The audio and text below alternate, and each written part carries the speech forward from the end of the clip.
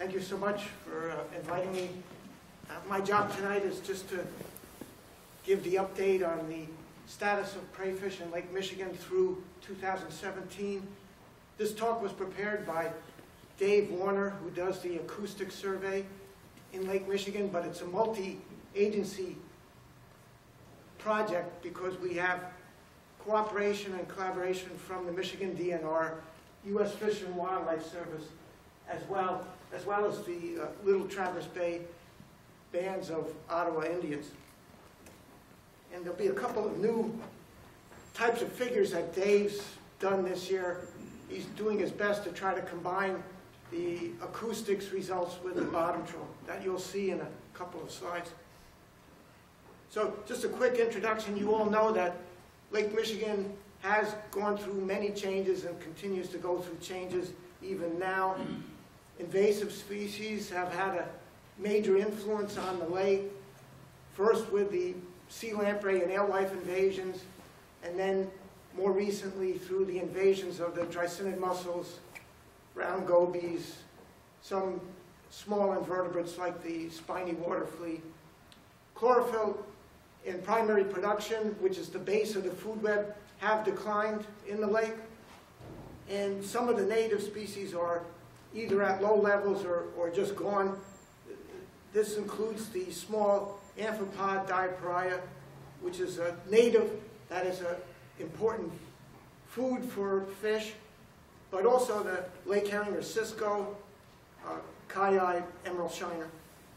And the prey fish remain well below the fish community objectives, which has led to decreases in the stocking reduction. A few notable dates to keep in mind when looking at the prey fish data are 1965, that's the first year that of the major stocking of salmon and trout in the lake. 1966, the peak abundance of alewife in Lake Michigan, and those two events are definitely related. 1981, the first year that the phosphorus was reduced.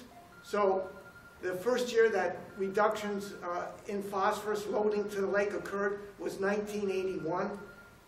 So up to that time, primary production in Lake Michigan was increasing. 1986, first year of the BKD, or bacterial kidney disease outbreak in Chinook salmon. And then 1990s uh, is when the zebra mussels came in. 1993, they became established. 2004, quagga mussels became established. And then the late 90s, round gobies invaded the lake. The prey fish are important for a number of reasons within the Lake Michigan food web. One, uh, just right off the bat, they're, uh, they're, they, some, some species are economically important like rainbow smelt and bloater. The, they serve as a valuable food for the top predators. Chinook salmon is heavily reliant on alewife. Lake trout will eat alewife, and alewife is still the mainstay of their diet even now, but they also eat uh, bloaters, sculpins, gobies. Many, many species are eating gobies nowadays, in fact, including whitefish, smallmouth bass, yellow perch, burbot, lake trout. There, there's there's a, an array of species that are feeding on round gobies now. They serve as a conduit of energy between invertebrates and the top predators. So they're feeding on invertebrates like zooplankton and mysis. And they, uh, they also can influence the zooplankton community structure. So in, in this talk, I'm going to just give a brief outline of the survey methodology and then give the results for both surveys, the acoustics and bottom trawl survey, for the species that are shared by uh, those two deer, namely alewife, bloater, and smelt, and then get into the species that are mainly uh, targeted by the bottom trawl. And then just go over some really brief conclusions. So I think you've all seen this slide before. It compares the bottom troll survey with the acoustic survey. Bottom trawl survey on a lake-wide basis for USGS began in 73, has continued to this time. The acoustic survey started in nine- 92. There were five years during the 90s that each year the lake was surveyed, then a gap, but then it was resumed uh, for, from 2001 to the present time. Bottom trawl survey is during the day. It's done with a 39-foot head rope bottom trawl. Trawl is lowered, towed on bottom for 10 minutes, then the net is lifted and the catch is sorted. Uh, All the data get entered into a uh, computer database. There are a total of approximately 70 bottom trawls done every year. The acoustics is done at night. It, it surveys the entire water column except for a couple of meters above where the, uh, where, where the uh, sensor is for the, uh, and also the last meter of the water column isn't, isn't really accurately uh, surveyed by the acoustics gear. The acoustics gear is accompanied by a mid-water trawl so that the echoes picked up by the sonar gear can then be translated into, uh, broken down by species. So mid-water trawl is done with the acoustics, which is a, a trawl that's dragged more in the middle of the water column. And again, the species that are in common are the alewife bloater and rainbow smelt for both gear, but the trawl does pick up other bottom-dwelling species, including sculpins, round gobies, and uh, sticklebacks. So moving right into the data, Dave has now combined the results from the acoustic survey with the bottom trawl survey. The bottom trawl survey is the dark line, the black line. The acoustic survey is the dotted blue line that you see here. And this slide is for the young of year alewife. These are the alewives that are less than 100 millimeters or about 4 inches in length. So it's this year's crop. And you can see that uh, there were good year classes uh, according to the acoustics in 95, 2010, 2005. The year class in 2017 is not that great according to the acoustics gear. It, it looks relatively weak. Now, moving on to the yearling and older, or YAO alewife. The bottom trawl shows the highest density of alewife uh, of the young yearling and older alewife in 1973. Our, our agency did do some trawling, although it was limited during the 60s, and we can say that at the peak level, the peak level at 66 had a density that's, that was roughly four times higher than the density in 73 that you see here. So if we bring this over to the left, we're talking about even higher densities. So the alewife did drop dramatically between 66 and say this very low period, 83, 85. Uh, we're talking about uh, many-fold, maybe on the order of 20-fold in, in that kind of range. During most of that time, primary production in Lake Michigan was increasing, so you could not attribute that decline to any kind of bottom-up effect. Uh, Again, I mentioned that in 81 was the first year that phosphorus was reduced. So primary production in the lake was, was actually increasing during most of that time. In 86, we see a, an increase in alewife abundance. That's the same year that the BKD outbreak occurred. So the alewife population is responding to a, re, a slight reduction in the predation by actually increasing. And alewife stay at a higher level from 86 all the way through the rest of the 80s, into the, into through the 90s and into the early 2000s, before they then again drop due to increased amount of predation. BKD had run its course by the early 2000s, but there was also a new influx of natural recruitment, uh, some from Lake Huron even, and predation again became very intense. And you can see that the alewives have continued their decline, according to both gear, to the present time, more dramatic with the bottom trawl. In fact, 2017 was the lowest level for yearling and older. But even according to the acoustics, we have low levels of alewives uh, in 2017.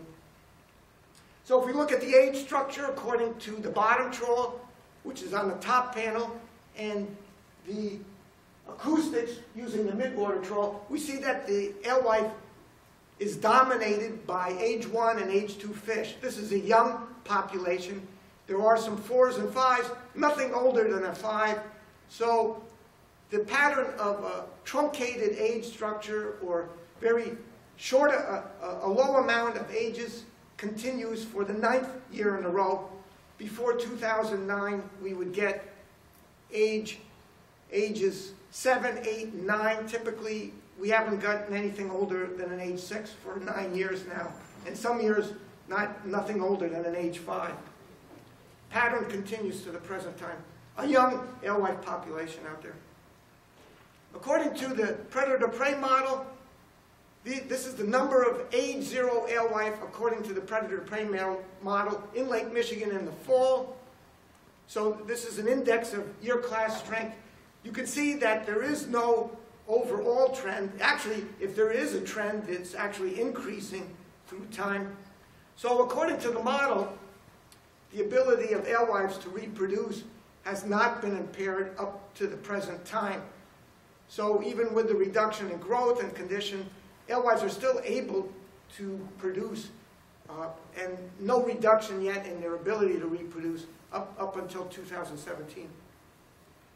So if we look at the spatial distribution, this is a map that Dave has prepared. Uh, I, it needs a little bit of explaining because uh, it's kind of a complicated map, but the pink dots are the acoustics estimates of, of the number of larger alewife or yearling and older alewife. The bigger the circle, the higher the density. And then the black crosses there are the midwater trawls that didn't produce any alewives at all. So you'll see there's quite a bit of black on, on the slide. These are areas where the midwater trawl was dragged, but there were no alewives in there. The yellow circles are from the bottom trawl.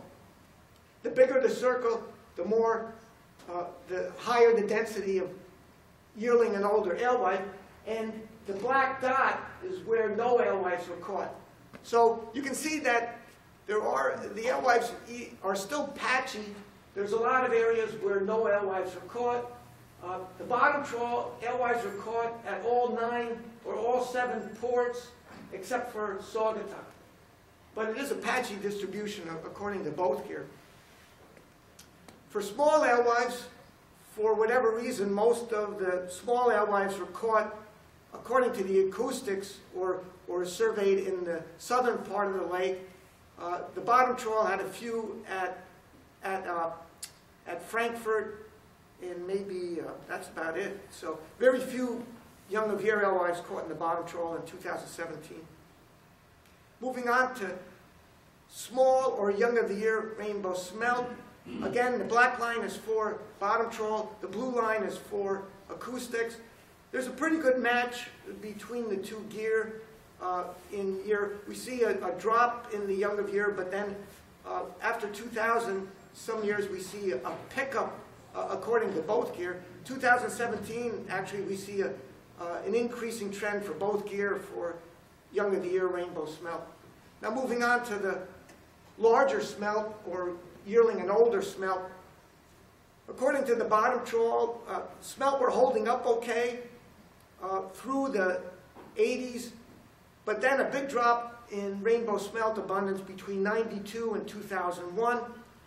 Acoustics similarly show a drop in abundance between the 90s and the 2000s. So both gear are showing a drop in smelt abundance in the lake between the 90s and, and, and the 2000s.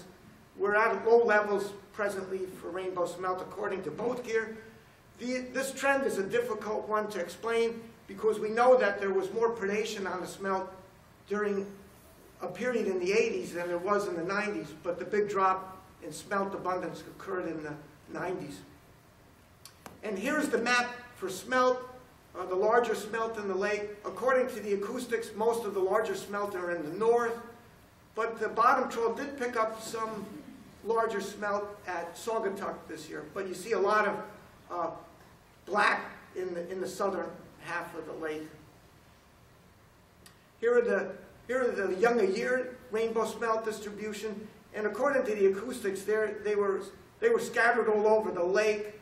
Uh, Bottom trawl had them at Manistee, Sturgeon Bay, Ludington, uh, according to the Bottom trawl. Okay, uh, the small bloaters show a lot of production of small bloaters in, in the 80s, according to the Bottom trawl. Again, that's in black. Um, there's a period where both gear were uh, showing low abundance through the 92 to 2001 period. And then we start picking up some young of year production, uh, according to the acoustics, uh, a lot beginning in the mid-2000s. But even the bottom trawl now is picking up uh, relatively high numbers in the last two years, even comparable to the 80s. Now the large bloaters show a peak according to the bottom trawl in 89 and then a decline during the 90s. We still have not seen that young of year production that we saw in the 2000s translate into a sustained trend upward, although both gear do show an increase between 2016 and 2017. Looking at the bloater distributions, they're basically all over the lake according to both gear. This is for the large bloater, but the same is uh, true for small bloater as well. They're, they're all over the lake. Now, lo looking at the bottom trawl estimates for deep water sculpins, we see a, a deep water sculpins were doing okay, and then a drop uh, started begin, uh, began in 2006, and they just steadily dropped and are, are at low levels. We think that this drop is in part due to a movement of these fish to even deeper water than what the bottom trawl surveys are. are typically, our deepest tows are 110 meter. In the last five years, we've been doing an additional set of tows at 128 meters, and we see more fish caught at that 128 meters than all of the other shallower tows combined. So part of this drop we think is due to a movement to deeper water. The slimy sculpin, which is the blue line, is mainly responds to predation by juvenile lake trout. With the increase in lake trout stocking, we see a, a steady decline in slimy sculpins in recent years. Uh, just a plot for the nine-spine stickleback, which is the blue line. They were at really high levels, relatively high levels in the 90s, but they've dropped uh, from uh, the late 2000s to the present time. Round gobies have uh, really shown a big increase in the 2000s, but now it looks like they've leveled off in abundance in the lake.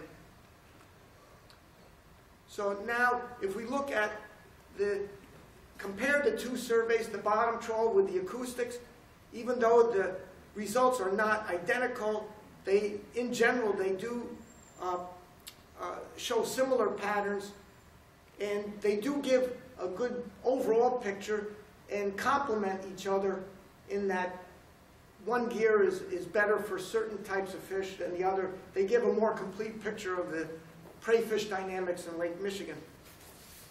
There is general agreement between both gear. They both are indicating that prey fish biomass in the lake is at a low level compared to what was in the lake during the 90s or even earlier. They both are showing that in recent times we're at a low level of prey fish biomass.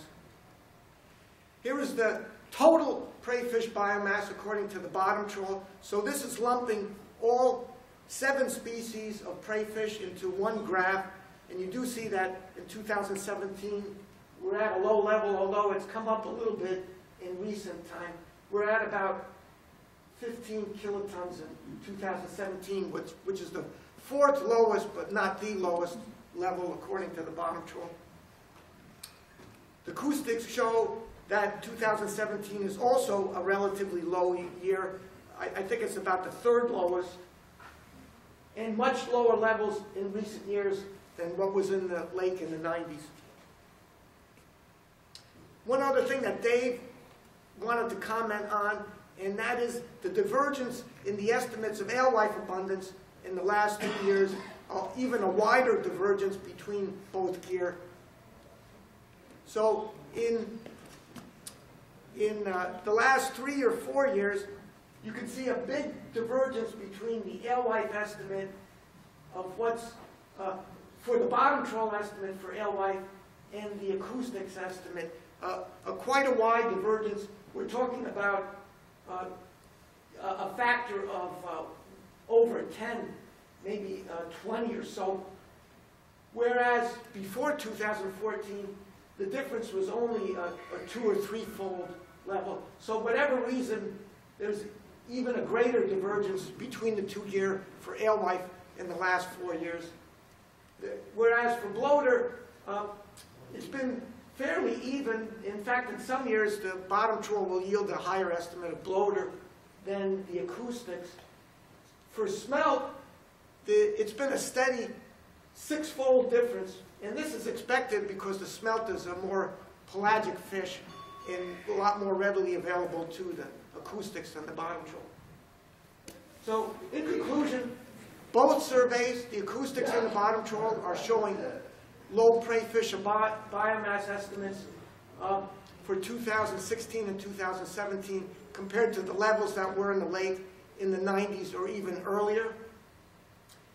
And according to the acoustics, the, for the last uh, seven or eight years, there's been one really strong year class to 2010, a couple of uh, average, and then five below average for alewife. So that's the year class strength of alewife. And I think that's all I have for slides. Thank you very much for your attention, and I'll be glad to answer questions.